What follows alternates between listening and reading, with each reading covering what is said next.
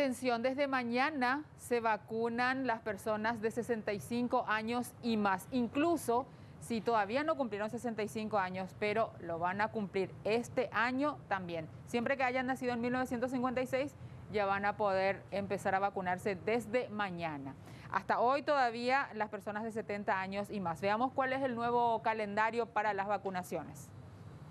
El Ministerio de Salud informó que a partir de este martes 18 de mayo se iniciará la vacunación para personas nacidas en el año 1956, ya sea que hayan cumplido o no 65 años de edad. El martes iniciará con la terminación de cédulas 0 y 1, mientras que el miércoles 2 y 3, el jueves 4 y 5, el viernes 6 y 7 y el sábado 8 y 9. El domingo y el lunes 24 de mayo podrán vacunarse los que por algún motivo no pudieron hacerlo antes. Este lunes 17 de mayo podrán acercarse todos los adultos mayores de 70 años en adelante que no pudieron ir a los sistemas vacunatorios del país. Queremos anunciar que desde el martes 18 de mayo ampliamos la edad de vacunación.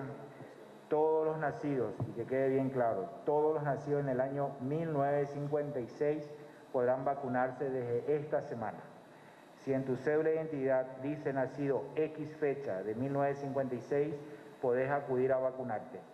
Quiere decir que si cumpliste 65 o vas a cumplirlos próximamente, ya podés acudir directamente para vacunarte. Por su parte, el director del país señaló que las dosis de Sputnik B que llegaron corresponden todas al componente 1 con fecha de caducidad en octubre. Además, indicó que después de un análisis se aprobó un lapso de hasta 90 días para recibir la segunda dosis de la Sputnik B. Todas las dosis corresponden al componente 1 con fecha de caducidad en octubre.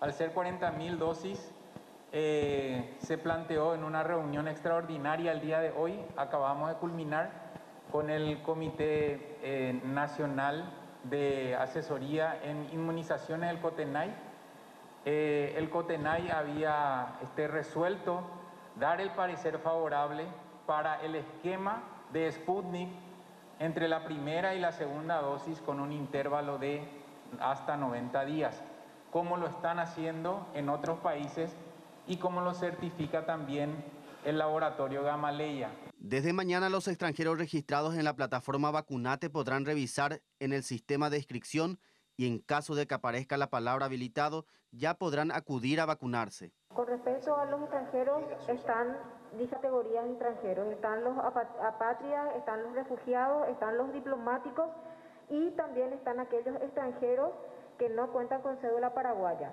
Entonces, estos podrán eh, acercarse a los vacunatorios con sus respectivas credenciales, aquellos refugiados que tienen su número establecido, también los apátridas y los diplomáticos también con su credencial diplomática. Estos aparecerán como habilitados en la plataforma porque tanto Cancillería y como en el caso de los extranjeros que no cuentan con, con cédula paraguaya que puedan presentarse con su carnet identificatorio o el documento que los identifique, ellos aparecen como habilitados posterior a que tanto Cancillería en el primer grupo y migraciones en el segundo los habilitan. Entonces deben aparecer o presentarse en los vacunatorios con sus respectivas documentaciones.